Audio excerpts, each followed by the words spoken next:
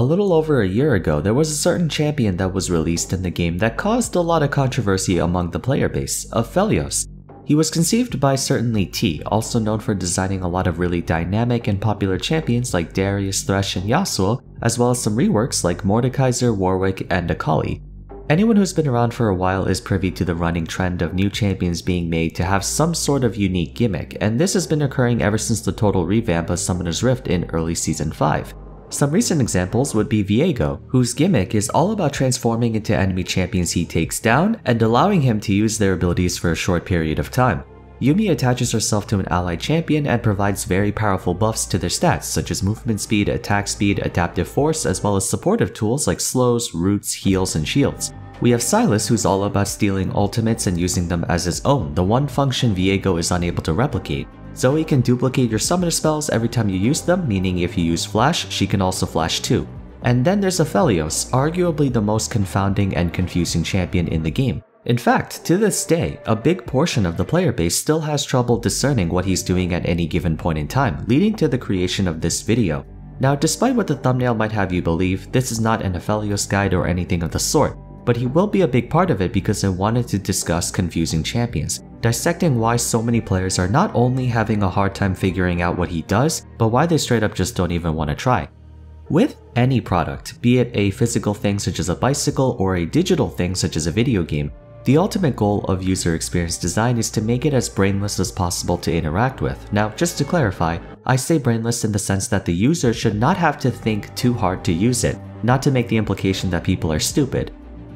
Most of them anyway. Needless to say, depending on the complexity of the product, it may not be possible to reach that level of intuitiveness, but the idea is to get as close to being a no-brainer to use as is feasible.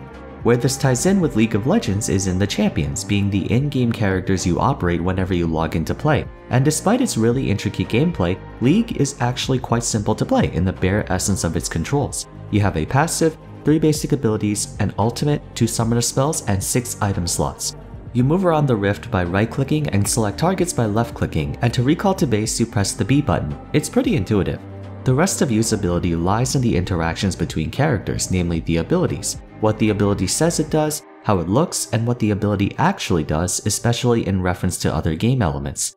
These three points are intended to serve as a checklist of sorts to achieve clarity. To give you an example of what I mean by that, let's take a look at Jhin, one of the best designed champions in the game in terms of user experience and gameplay. Each of Jhin's abilities have distinct functions, interactions, and appearances, right down to the passive. The first three shots don't look like anything special, but when he's arming his fourth bullet, not only do you see the last one loaded under his health bar in purple, but he starts twirling his gun around while it's glowing. There's a clear change in his walking animation when he's about to dispatch you to the year after, then followed by a 360 no-scope shot. His Q is pretty subtle on launch, but Dancing Grenade can easily be understood by going against it a few times. The canister itself changes color every time it kills a target, and depending on how far away each target is, the bounce can take a long time to reach, which makes sense physically speaking. Deadly Flourish has a clear line downward followed by an equally fancy animation on Jhin. In exchange for having extremely long range, the attack has a very narrow hitbox and a long cast time, balancing the ability. Captive Audience's Lotus Traps do immense damage but have a very bright and rather long animation to let you know to get out of the circle as quickly as possible lest you suffer excruciating pain. And finally, his ultimate curtain call creates a very wide cone in front of him with 4 bullets in quick succession of each other. If it hasn't become apparent already, everything comes in force. 4 auto attacks, 4 enemies hit with a grenade, 4 shots of his ultimate. Everything about Jhin is conspicuous, clear, and easy to understand, and he's considered a pretty complex champion. In spite of the growing number of gimmicky and crazy characters, most of them are quite easy to figure out after having played against them a few times. But recently, it's gotten more difficult to discern what a champion is doing with newer releases, especially as champions can do more than what 3 abilities and an ultimate would suggest. While there's nothing wrong with going above and beyond the status quo, it's important to implement them in a way that still reflects the current user experience framework of whatever already exists in the game. A mild example of overlooking this would be Seraphine, while there's nothing particularly convoluted about her abilities, her animations aren't very pronounced between each other which makes it hard to distinguish what she's using at any point in time. Because she fires using projectiles, her character model doesn't move around all too much. In fact, unless you're paying close attention to her, it's hard to tell whether she's using high note or beat drop. Speaking of beat drop, it has a special property where it roots targets already slowed and stuns targets already rooted, but since they look exactly the same, most of the time you can't tell which one you'll be hit by unless it's the only attack coming towards you. So now that I laid down some of the background information, let's actually talk about Aphelios. The first and most notable aspect of his gameplay that makes him hard to figure out is that he has too many abilities, far beyond that of any other champion. Even though he completely lacks a conventional E and W, Aphelios essentially carries 15 different abilities. For starters, he has 5 passives, one for each weapon he has, which requires you to understand what each of his 5 weapons do. Even if you were to simplify them all, that's still 5 different things to account for. While there are icons next to his health bar to show you which weapons he's currently using, at a quick glance it's hard to tell what he's using in the heat of battle, as only Gravitum is easy to notice because he carries a purple glowing orb. The rest of his weapons all blend in with his character model either through color or shape. Calibrum and Crescendum have the same color as his coat. Infernum is a more silvery blue color but it still fits in with this palette of a teal, blue, and gray scheme. Severum does carry a red blade but it also has a gray hilt. What makes this even harder to tell for his opponents is that Aphelios can switch between two weapons at no cost and a very low cooldown, meaning you not only have to track what primary weapon he has armed but what his secondary weapon is, which can be even harder to notice. On top of that, each one has different attack properties. Infernum, Gravitum, and Severum are the simplest since they're just permanent basic attack modifiers. Infernum sort of has a Titanic Hydra effect, Gravitum is basically Frozen Mallet, and Severum is a Vamp Scepter, that's about it.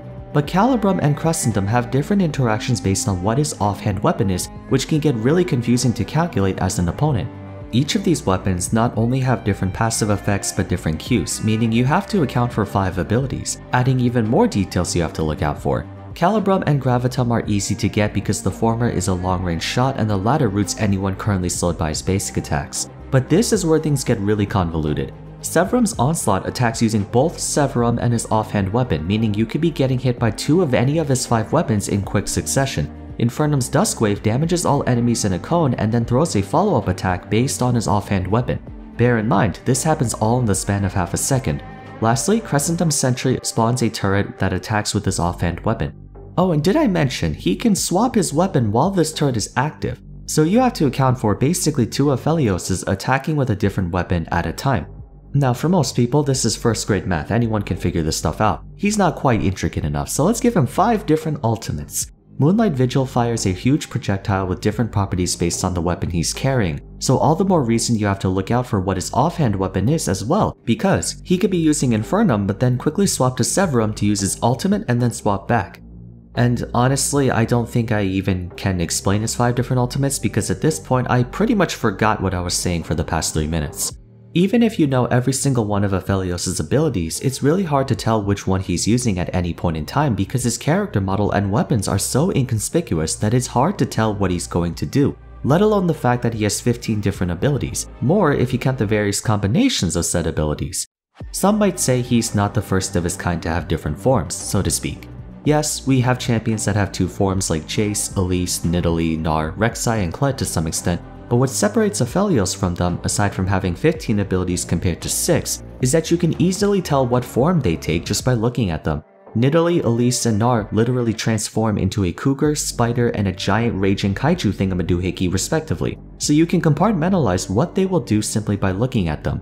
Jace carries a giant hammer which is as big as he is, and whenever he transforms, not only does his weapon change but so does his stance, making it very clear which mode he's in. Also, none of their abilities interact with their opposite form, aside from maybe Nidalee Spear and Trap making her Cougar Q and W stronger. Why people are so frustrated with Aphelios' design is that he looks very unimposing as a character, yet can do so many different things in very quick succession, all without clear visual indicators, making it extremely difficult to keep up with him when facing against him. I'm not saying that every champion needs to have Looney Tunes animations with comically oversized fists and crazy explosions, but if they have a lot of different abilities that can do a lot of different things, it's important to make them distinct from each other to prevent confusion, so people can actually tell the difference between a Q or a W or an E. Humorously enough, the newest champion Viego actually has some pretty good user experience despite having potential access to every single ability in the game and that's because his basic abilities have no interactions with those that he assimilates. It's not like his Q changes based on what champion he's stealing, and whenever he is possessing a champion, there's a long animation that plays out to show you that he's about to transform. On the other hand, someone else who does have changing abilities based on a specific metric is Qiyana, but the only thing that changes is her Q. Her basic attacks, E, and ultimate all remain the same. Also, the difference between Qiyana and Aphelios is that she has to manually pick up an element using Terra Shape before she can use Edge of Ixtal. Although it does happen quickly, it's still easy to see her absorbing an element. Most importantly, Qiyana's hula hoop changes color based on the element she has. Not only is it bigger than her own body, but it glows very brightly giving a clear visual indication. I understand for certain characters, subterfuge may be part of their gameplay and that's fine. Champions like Shaco and LeBlanc are designed to deceive and trick players. Not every champion needs to publicly declare what they're doing or have really long animations, especially if they're assassins. They're supposed to be quick and fast so they can catch people off guard. But at least with them, you only have to worry about three basic abilities, a passive, and an ultimate, that's it. Aphelios would be perfectly fine if hypothetically he had only two weapons because then the whole main hand offhand mechanic wouldn't be nearly as convoluted to figure out. It's due to him having 5 weapons that there's simply too much on one champion with too unnoticeable of a difference between them that makes him such a problem to figure out. Why this matters so much is because it creates dissonance between him and other champions. It's hard to imagine that Garen and Aphelios are characters from the same game.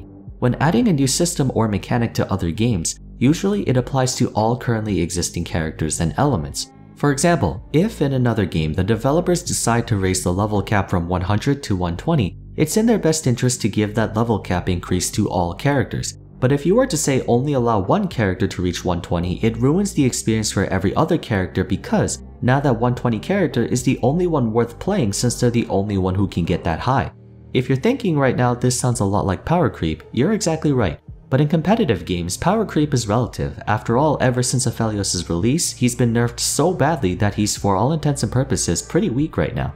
It's not so much power creep he brings, but feature creep, where Riot is pushing the boundaries of what a champion can have further and further, which ordinarily is a good thing, but it needs to be handled with caution because it sets a precedent for future releases. When you impose constraints and parameters for a game's development, it's okay to expand on it gradually, but I think the reason players were so thrown off by him was that he came as such a shock. There were really complex and gimmicky champions before him such as Sylas, Taliyah, and Aurelion Sol, but none of them made people genuinely say out loud, I have no idea what this champion does. I mostly wanted to talk about how Riot can use Aphelios as an example of how being too adventurous with designing a champion can lead to more confusion than enjoyment. Again, it's perfectly fine to innovate and try new things with new releases, but for the sake of being prudent, best to optimize the user experience before trying anything fancy. If you enjoyed this video, a rating would be much appreciated, and if you'd like to see more content like this, consider subscribing to the channel. Also check out the video description down below for links to my Discord and social media, as well as a playlist containing all my discussion videos if you'd like to watch more. But for now, that's it for today. Thank you all so much for watching, and I'll see you again soon for the next one. Take care.